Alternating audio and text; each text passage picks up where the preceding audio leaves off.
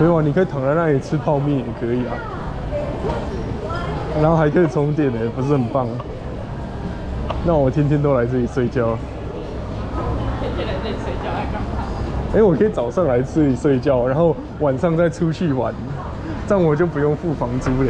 你有什么我根本生活太嗨了！我就早上来这里睡觉，又有冷气，又可以充手机，然后晚上就出去玩，太开心了吧？